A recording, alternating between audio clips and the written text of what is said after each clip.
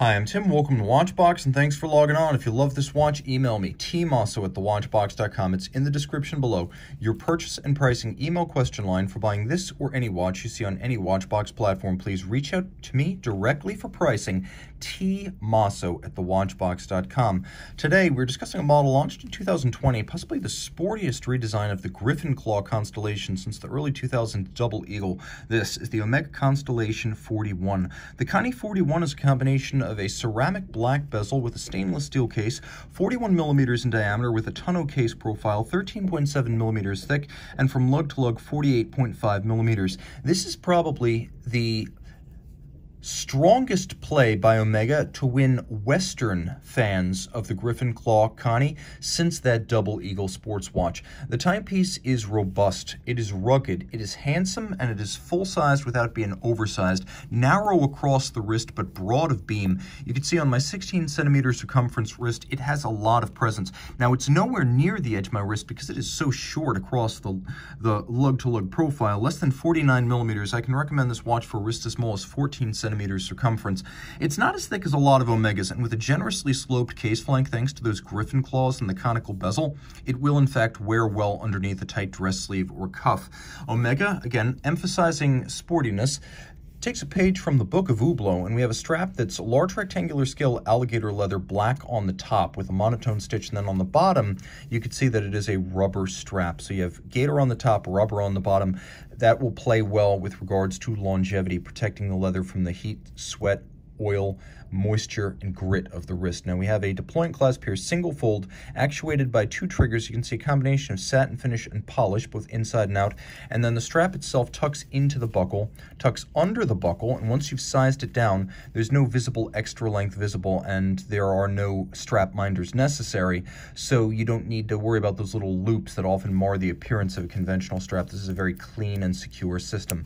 The timepiece featuring a tonneau case rather than a round case, and you can see it's a combination of satin finish, curves and creases. You can see there's also some flat faceting at the end of the case at 6 and 12. And then we have bevels that run all the way around and they are polished. The Griffin Claw or Griffe, first introduced on the 1982 so-called Manhattan constellation. They're here, they're subtle, and they're big and sporty. So rather than appearing dainty, elegant, thin, or fine, they're broad and robust.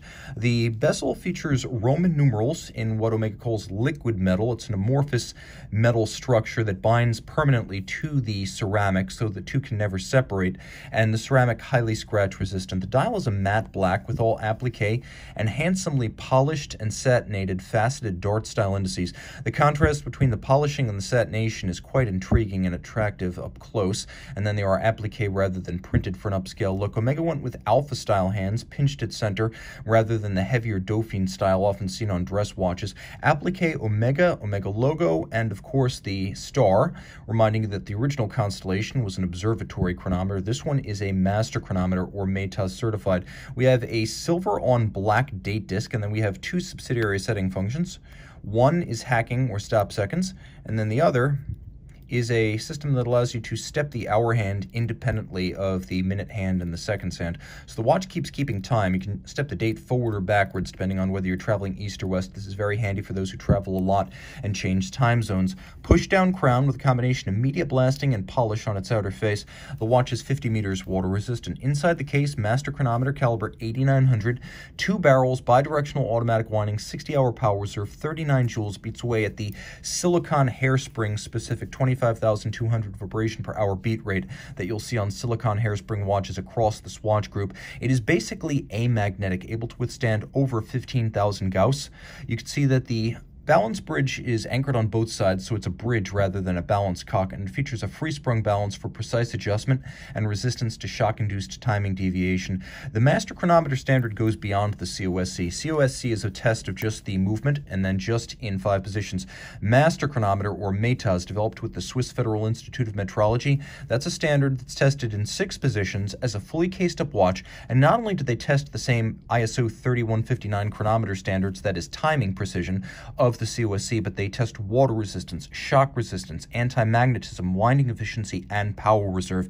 It is a very comprehensive test. This watch also uses the latest tri-level coaxial, which is a direct and indirect tangential contact, um, basically double impulse style escapement system. It's both indirect and direct, but both are tangential contact, which extends the power reserve, reduces service needs, and improves long term timing precision. George Daniels invented that in 1974, and today it can truly be said Omega has realized the full potential of this coaxial system.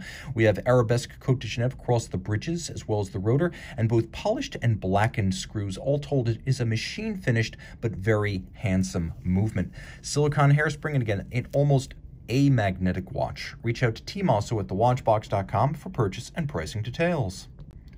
And we're back with the Connie 41 in the dark.